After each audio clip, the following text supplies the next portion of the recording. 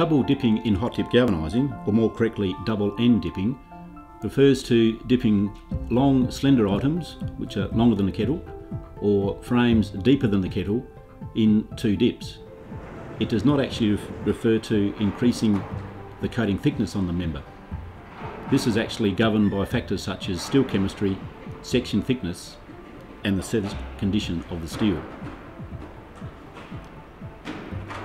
From a design standpoint, it makes good sense to be able to consider double dipping as members must be able to fit into the kettle to enjoy the benefits across an entire project.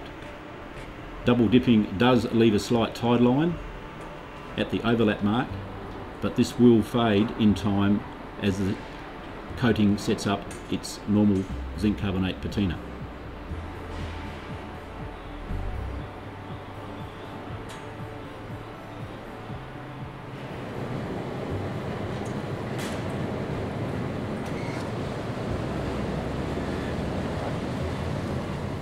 After dipping the first half of the component, the member is carefully turned, refluxed, and then immersed back in the molten zinc.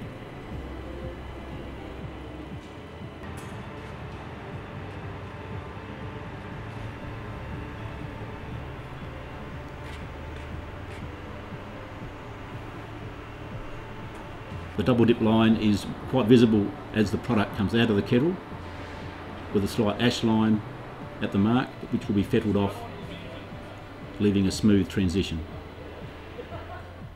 One half on a large frame will generally look a bit duller than the other but will blend in time as the coating weathers.